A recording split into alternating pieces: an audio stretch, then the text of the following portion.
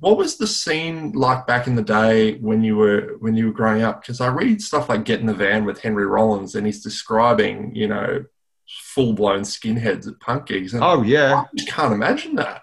Oh yeah, yeah, yeah, yeah. See, see, when we when we first, some of my earliest um, interesting scenarios along those lines were were actually in the states. You know, like the early '90s when we went there, there was a big. It was almost like a.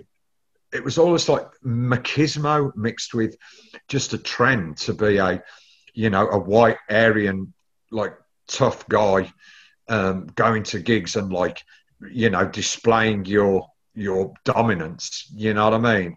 Which very much has you know has kind of is is kind of um, um, is is is is very very similar to the whole white power ethos you know in terms of the way it sort of projects itself. So we would have some very serious situations and i you know i'm not going to glorify these things because they were fucking miserable. You know there's no romanticism about having to fight your way out of gigs because you've got people who are there to bully other people first and foremost to be like really violent you know?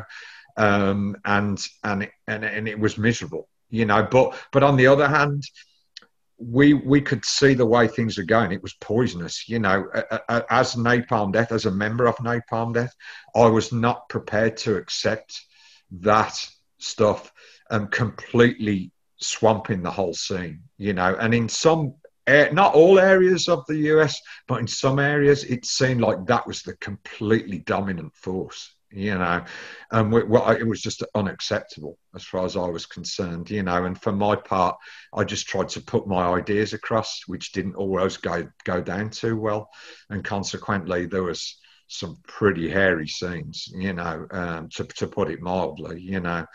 Um, and again, you know, it's not bravado, it's nothing like that because I, I don't want to be I don't want to be like in, involved in perpetuating violence, you know, cycles of violence. Like, I'm not interested in that, you know.